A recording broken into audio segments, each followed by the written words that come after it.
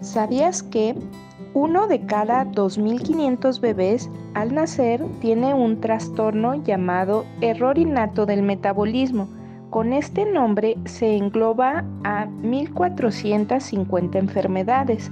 Algunas de estas enfermedades se identifican en el tamiz neonatal y la mayoría de estos bebés se ven normales al nacimiento.